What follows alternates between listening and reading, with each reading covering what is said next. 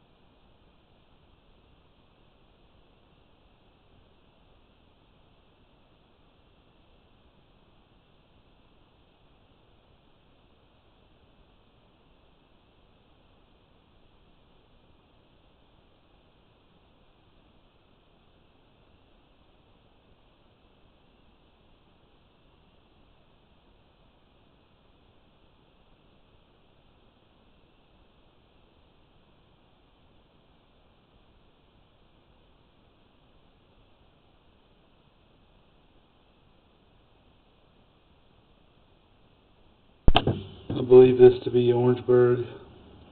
Um, it's in bad shape throughout from here on out to, to the uh, clay tile. I'm going to mark this spot and then all the way out to where uh, the Orangeburg ends.